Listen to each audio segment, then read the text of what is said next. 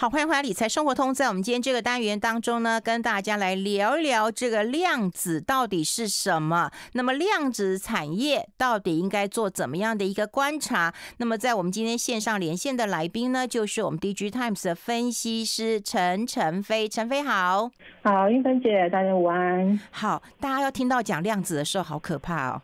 结果 费勇说不用怕，因为他昨天跟你讲的时候，他听得懂。对，你在讲量子的时候，大家不会很害怕吗？刚开始其实我也蛮害怕的，但是我觉得，哎，我有观察到，哎，为什么大家都很害怕？但是，哎，目前产业里面好像大家都有或多或少有一些布局哦，所以我想一定一定有一些什么东西是我们不知道的。嗯，所以我想说。就把它这边整理出来，让大家哎有一点点概念之后，就其实以后碰到量子不会那么害怕。嗯，哎，那我们要呃跟大家解释什么是量子，那为什么我们需要呃这个量子的运算呢？哦，其实其实大家如果长期关注这个半导体领域的话，其实都会听过一个名词叫摩尔定律嘛。啊，它是意思是说每隔对对对，它每隔两年的时候，其实它的运算效能其实是会加倍的。但是，因为它大家也会听到，像台积电他们现在开始在研发这种什么三纳米、两纳米这些技术，其实意思就是说，它的电晶体的 size 其实已经越来越小。所以在小到不能小的时候怎么办呢？其实它就已经碰到了一个物理的极限了。那其实呢，整个产业、整个半导体产业其实都在想办法让去克服这个问题。那其实。产业另外一方面也有在想说，哎，那如果真的碰到极限，有没有什么可能的解方？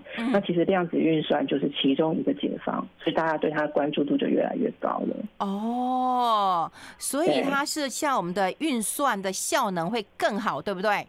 对对对，它就是它的特色，它最大的优点就是运算非常快。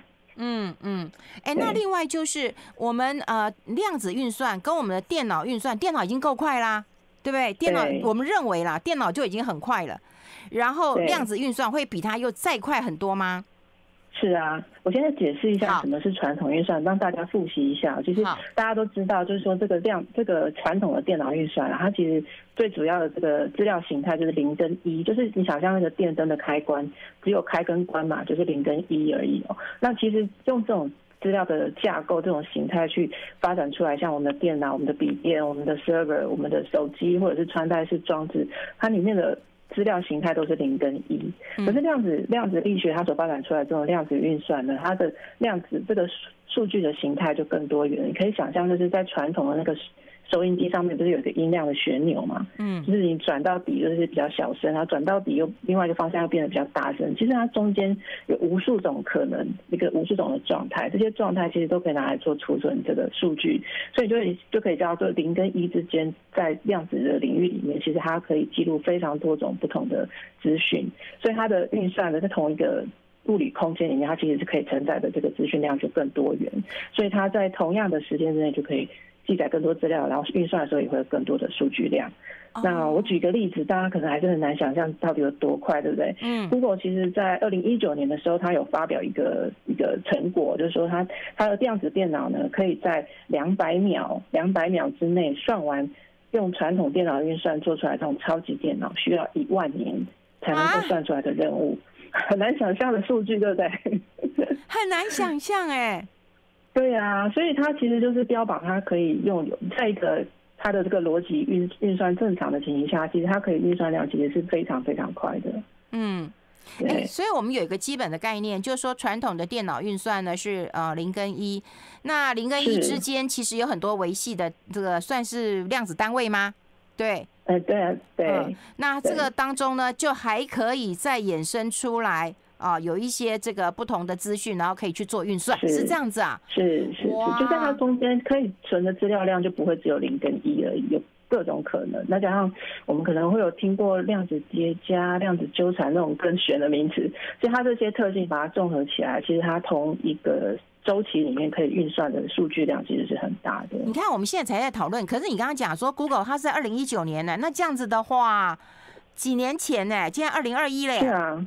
是啊，嗯，其实就是一直有在推进。其实像这些大厂，他们陆续都已经有一些，他们的进度其实都已经到了我们现在可能都想说，哎，台湾很离我们很遥远，可是他们其实都已经陆续有一些商转的应用出来了。嗯，所以就表示说，其实这个量子我们大家都还没有完全搞懂的时候，其实大厂这个手都已经伸慢慢的伸出来了，让大家开始好像或多或少已经进到我们的生活里面，是我们还没有那么警觉到这样子而已。嗯，不过听你这样讲之后，你看我们之前都讲什么 AI 人工智慧，对它要变聪明，它要自己能够学习，我想这样的一个方式就需要量子了。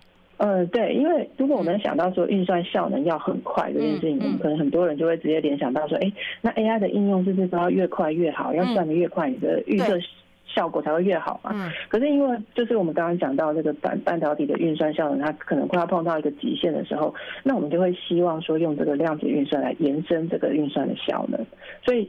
这可能大家也会想问到，就是说，哎，那到底这样子，我们最近听这么多，它到底会不会取代我们现在的这个传统的电脑运算？嗯，其实我们我们我们这样读这些资料下来之后，其实我们发现它是不会的，因为第一个是传统传统电脑运算已经发展了这么多年了，它其实已经在我们全世界地球上已经有这么这么好的基础，所以。要被量子取代的可能性其实是非常低。再来是量子的运算的能力呢，其实它不是说所有的事情都可以做，它只有在一个特定的逻辑底下，它可以算得非常的快，所以它就可以来补强我们在传统电脑运算里面不足的部分，就把这种需要算很快很快的地方就交给量子去做，所以它这个就是发挥它的强项嘛，对不对？那那。对，那所以目前呢，它在量子的这个领域里面，最直接、可能最明显的应用就是去延伸 AI AI 的运算的效能。嗯嗯，哎，那待会我们想要知道，就是说，呃，量子运运算的话，对我们的生活有什么样的影响了哈？因为之前我们有看过，就是说有很多不管是基因的问题、药物的研究或诈骗集团。好，也会用到，也会用到。那这个时候呢，我们也请我们的听众朋友，到目前为止，你听得懂吗？哈，你上来跟我们讲一下，因为我觉得陈飞这样讲，我是听得懂的，我是听得懂的，我完全能够听得懂。我不想要听众们能不能听得懂哈，跟我们回馈一下。然后我们要先休息一下，进一下广告，好不好？你不要挂电话哦。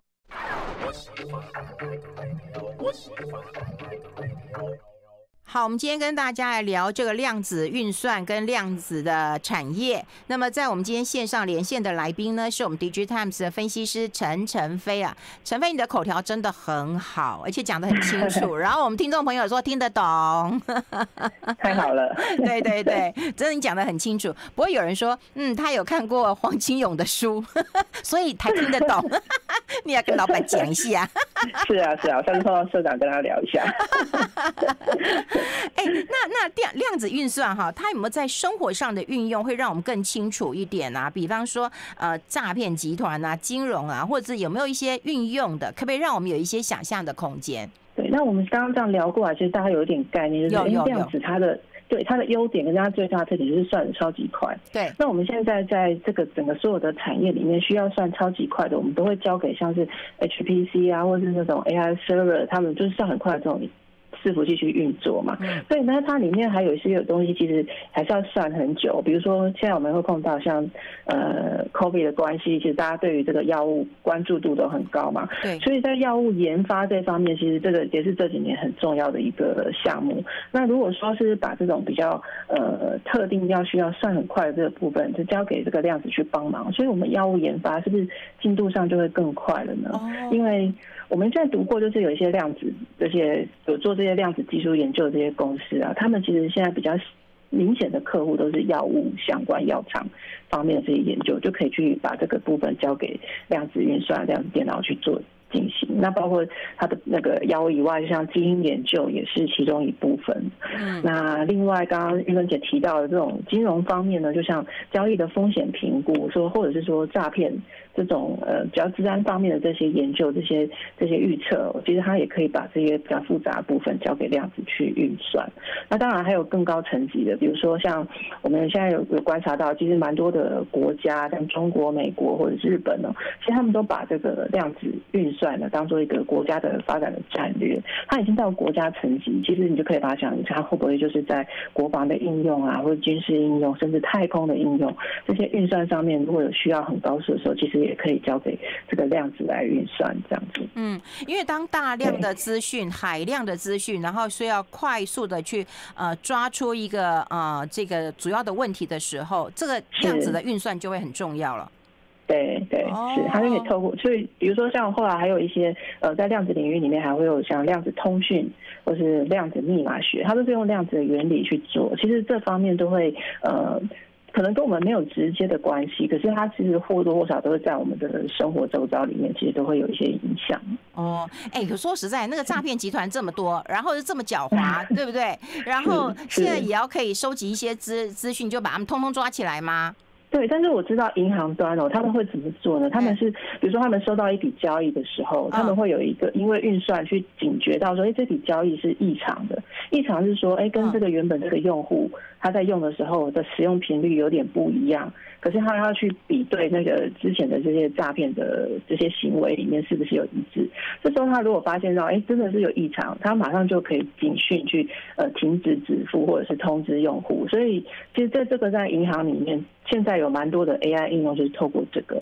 那如果说还要能够在更早去察觉，然后透过需要更大量的数据的分析去做预测的话，其实这部分就可以让量子来帮忙了。哦，比方说他的交易习性，对不对？习惯，对对对，他可能行为上啊，他可能半年操作一次的，忽然现在密集在操作了。哦，那或者是说地点很奇怪，比如说我人在台湾，可是他可能交易地点可能在欧洲，因为他就觉得，哎，这地点就不对，所以他们也会去查。有时候也不是因为我们刷卡的地点啊，因为有时候。我们会往国外网购嘛，但是他会发现这个异地点或者是行为异常的时候，都要能够判断出来，所以这个都要又快又准，这种事情就可以，就就还如果在逻辑正确的情形下，其实还是可以叫量子帮忙这样子。哦，对，不然的话，你看现在忽然有这个长辈，然后到邮局或银行去领钱的时候，都要有李专自己来判断，说啊，北利利亚这边冲下。对不对？你你为什么要领 三十万？对，可能就要了解一下，你知道吗？阿贝，你为什么要领这个钱？那他想说啊，我要去救一个爱人，就知道是网络诈骗。对，就是其实这种都是一些行为上的判断。那当然，这是要透过数据上的累积，然后才能够去侦测这个异常的地方。所以这也刚刚跟我们讲过，就是说这也是延伸 AI 的一个一个状况，对不对？那它其实就是因为 AI 现在需要大量的数据的运算去训练那个模型啊，或者是做预测，所以它这个数据量其实都会越来越大。以后只是为了为了精准，一定会越来越大的需求。所以这个数据量这边，它在可以把它当做就是在量子领域里面发展里面 AI 的应用的延伸，这应该是一个比较明显的需求。那未来可能还会有更多不同的这种运高速运算的需求出来，比如说现在因为 AI 这边算是比较明确的刚需这样。嗯，哎，那感觉上量子运算虽然就是跟我们没有直接的关系，可是你刚刚讲啊，金融或者是说你看我们现在打疫苗、药物，嗯。啊，这个研究或者国防，这根本没有直接，但间接还是有关系的啊。是，对啊，还是会有关系。嗯，那。就是大家可能会问说，哎，那它到底什么时候会让大家都用得到，对不对？但是其实它没有，它也没有办法那么快，因为其实如果大家有看到，偶尔会听到一些就是量子电脑的讯息更新出来，就说，哎，某某实验室，对，因为量子电脑它必须要工作在很低的温度，那有多低呢？朱芬姐要不要猜一下？零 零下三十度？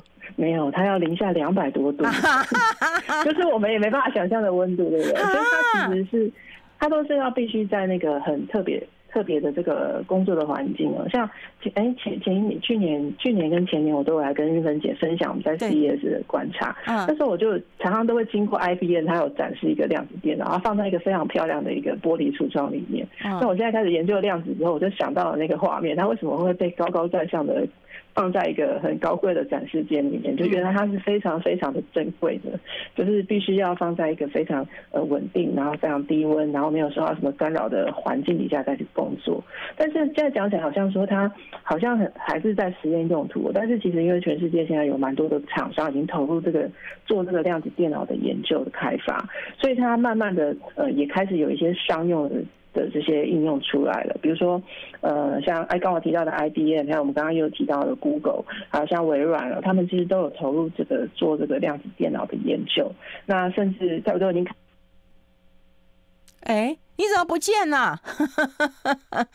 好，可能断线了哈。我们要待会呃跟大家来连线一下哈，待会跟大家连线一下。不过我们待会一路就就聊到了那个呃量子的一个状况了哈。那量子的状况当然是一个运算力的一个延伸了哈。那我唯一想到就是 AI 的一个运用，就没想到还有药物啦哈，基因的一个呃延续啦。那另外还有就是那个交易的一个呃密码啦，还有就是我们呃国防啦、通讯啊哈。这那个那个部分呐，哈，那这些都是未来啊，这个量子的技术可以持续的一些发展。那待会我们会来聊一聊哈，待会我们会来聊一聊，因为这个工作这么低温呐，工作这么低温，刚讲零下两百多度，我还想说零下三十度了，零下三十度了哈。那那个等这个待会我们再连线哈，待会我们等两点好了哈，等我们等两点，因为低温低温让我想到一件事情。谁在那边工作啊？那我要穿多少衣服啊？那这个量子的人才要怎么找？我觉得这个是一个关键了哈。那刚刚刚呃陈飞有讲到了，就是有一些商业化了，我们也很想问问看台湾的机会，那么到底在哪里哈？所以我们要先呃休息一下。I like 好，这里是来 Radio 中网流行网，欢迎再回到理财生活通节目现场了。那么我们刚刚连线的就是我们 DG Times 的分析师陈晨飞，那么一路跟大家来聊聊电子运算，待会就会跟大家来聊一下电子呃量子产业了。那我们现在先看到中央流行疫情指挥中心目前的一个记者会了哈，台北还是有新增十例，这是最多的。那新北呢是有呃这个有十呃总共是有十七例哈，总。共是有十七例确诊的，新北确诊的案例已经降到两例了哈，这看起来是往好的方向一起来发展。那另外这个呃，中央流行疫情指挥中心有在讲，要密切关注各国这个 Delta 疫情的一个发展的状况。好，我们要来呃持续来聊一下我们的量子呃量子的运算跟量子的产业了哈。那我们线上的就是我们 DG Times 的分析师陈晨飞，陈飞好。嗨，大家午安。哎，那我们刚刚跟大家聊过，就是电呃量子的运算哈，在零下两百多度啊，那真的是有点恐怖哎。那那谁 谁敢跟这个这个这个这个电脑一起工作啊？对不对？那那人才的问题呢？我要穿什么样的衣服才能够在零下两百多度生活啊？他应该是只有那个电脑被冰起来而已啦，一般的人应该还是在外围这样子。对啊，而且因为这些这些电脑，这量子电脑，它要放在这种很稀少的这些实验室里面嘛。嗯。但其实因为现在网络非常发达，所以其实也不见得说一定要在这个电脑旁边才能够工作。就是我们就因为透过网络存取的方式，你可以去连到像台湾现在就有台大这边有很多的研究团队，其实都是连线到美国的 IBM 量子电脑去做运算，去做一些开发。所以其实你即使这些。这些电量子电脑，必要放在一个高贵的环境里面，但是因为网络现在很发达了嘛，所以它其实是可以把他们要运算的这些任务交给这些量子运算的实验室去帮忙执行。嗯，所以其实还是可以用到的。那像台湾呢，这高科技人才当然非常的多，可是对于像量子运算这样的一个技术，不管是软硬才呃软硬体的人才，你的评估呢？我们的人才多吗？目前还是比较少的啊，哦，还是比较少。对啊，因为现在因为量子还算是说在世界各国来讲，还是一个算是一个比较前瞻的技术。它里面还是有很多的不确定性嘛。因为像之前我们听过这个台大的教授在演讲的时候，他就有提到，他就说，其实因为量子现在要克服的还有很多的问题，比如说刚刚我们讲到超级低温这件事情，就会造成它量产上一个很大的障碍。那再来就是它的这个呃整个开发的过程，除了这个硬体的平台要越来越完整以外，就是它的软体的开发的技术，像它所所需要的城市语言啊，然后它的数据的形态啊，其实都还要慢慢的再去堆叠起来。那其实大家会想说，哎，会不会那么快？其实我们这个半导体整个运算，其实也是花了几十年的时间才累积到现在这种状态嘛。那所以量子运算要到能够，就是让大家很容易的去用得到，其实当然一定还是要有一段过程。那但是这个累积的过程。就是去把怎么去把它用我们现在现有已经熟悉的这些科技的技术，再去把这个量子技术的整个呃做一个整合，这样才可以发挥是双边这个最好的效益嘛。所以目前台湾应该也是还是要有越来越多的呃这些相关的人才在关注这样的应用的发展。虽然我们没有特别去发展量子电脑，我想台湾应该目前没有这样的规划，但是因为现在网络太方便了，要怎么样能够去连到这些世全世界各地的这个特特殊这些实验室，其实应该都还是蛮方便的。所以如果说我们有特别越越来越多这样的人才去关注这样的这个应用的话呢，其实我们未来在量子这个发展上其实是不会掉队的。哦，哎，那现在看起来，但就是看开发者，你刚刚讲是 IBM、Google 嘛，哈，那那那使用者呢，会不会是就是有很多像哎这个 Amazon 他们他们会来使用呢？啊，对，其实我们也可以聊到说，其实我们在看这个量子运算一个商转很重要的指标，其实都是这些大型的公有云平台，像 Amazon 的 AWS，然后微软的 Azure，或是 Google 的自己的 Google 云平台，其实他们都陆续的在开通这种量子运算的服务，而且开始收钱哦，开始收钱，这就是他收什么钱？那那他怎么他提供哪些服务？哦，他他就是从提供，就是说，呃，你要做这些企业想要用量子运算来增进自己的这个运算效能的话，就可以把你的任务交给这个云平台上面，再去连接到这个量子电脑去做运算。就是说，你你不用买电子电量子电脑，电脑对哦，你可以用它的平台去使用。对，透过量子，就透过这个公有云的平台去帮你做管理。然后就是帮你做这个呃用户上的管理之后，他再帮你连接到这些实体的量子电脑，然后他就帮你计费喽。比如说你用了多久啊，你的这个运算任务会不会太复杂啊？其实这都已经开始可以有一些收费的机制出来，所以这个就是一个呃蛮初步的这个商转的指标。那因为公有云平台现在是所有最新科技汇集的地方嘛，所以他们开始有做了这个量子布局，而且已经有商转的这些轮廓出来的话，其实量子运算已经到了，就是到了可以开始商转的阶段了。嗯。哎，可是可以商转的，呃，商转的话，可能还要一段时间，大概都是企业用户为先嘛，对不对？对，都是那种刚刚我们提到药厂，像 Google 就之前有发表过，他们跟药厂合作。哦。那可能还有其他的啊，像是这种车厂，他在做自驾车研究的时候，可能会需要高速运算。那还有像呃，我们刚刚讲到，就都是比较偏向这种需要大量的数据的运算、高速运算的时候，他们就会可能会考量开始把这个量子运算引进来他们自己的企业流程里面。嗯，所以你看，未来就会形成从量子运算就会形成一个量子产业。对不对？是是，对，因为有供应有需求了嘛，所以它就会开始中间会慢慢的串起来，就会越来越大。那这些大厂呢，现在要开始做这样的布局，主要也是要把这个生态系建起来，因为。